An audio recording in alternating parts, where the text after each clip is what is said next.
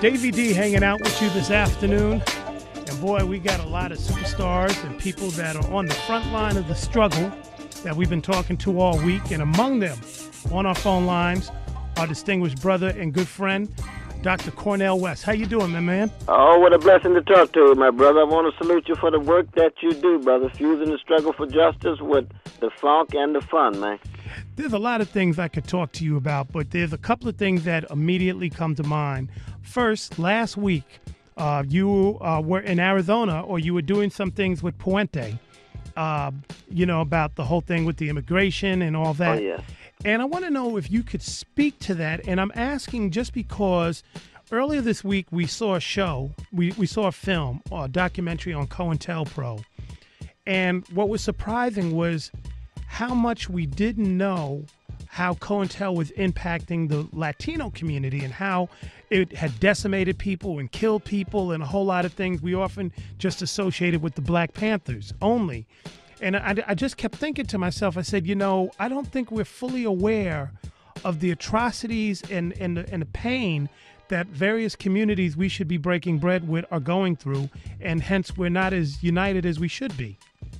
No, you're absolutely right, there, brother. COINTELPRO targeted progressives across the board. They were predominantly black and brown, but they were it, it certainly included our Latino brothers and sisters. But of course, we shouldn't forget about our dear brother Howard Zinn. We just we just got his FBI file and found out that he was at the highest index, which if there was a state of emergency, he would be in jail immediately with no trial. So that I mean, the COINTELPRO is very serious, and I'm glad that you highlighted our Latino brothers and sisters. I was in Arizona all day on Saturday with Brother Pablo Alvarado and Brother Chris Freeman and Salvador and, and Ofa and all the other brothers and sisters there. I was there at Tent City. We're working with the day laborers. I was there at Esperanza School. Of course, North High School is where the major event took place.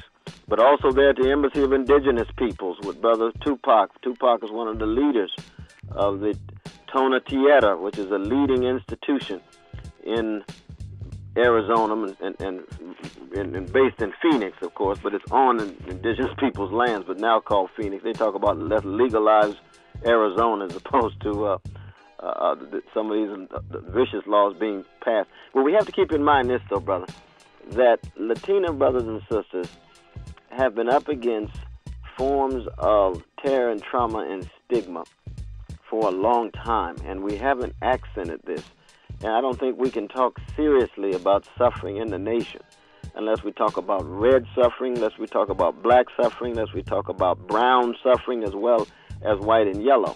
So it's a question of trying to unify, to bring together, to constitute coalitions and alliances so that we can try to push back these deeply reactionary and to some degree crypto fascist policies against our day laborer brothers and sisters who are often Latino.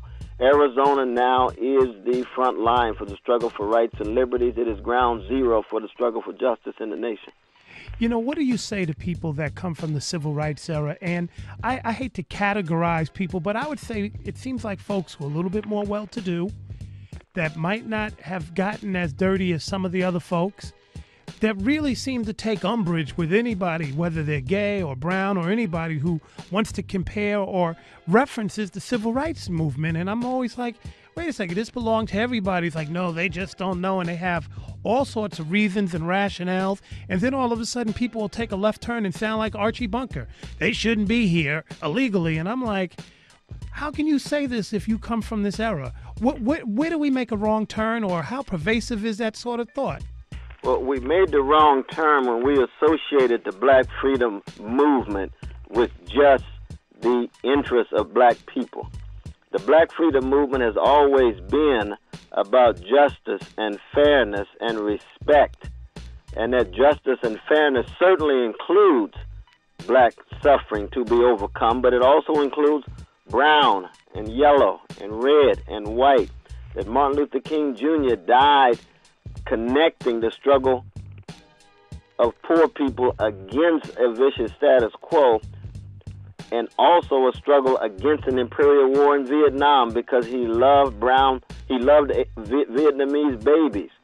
So it was about justice, and justice is a universal norm. It's a universal ideal. So when people say, well, they can't use the civil rights, civil rights is not owned by anybody. Is justice and fairness and respect owned by anybody? Absolutely not.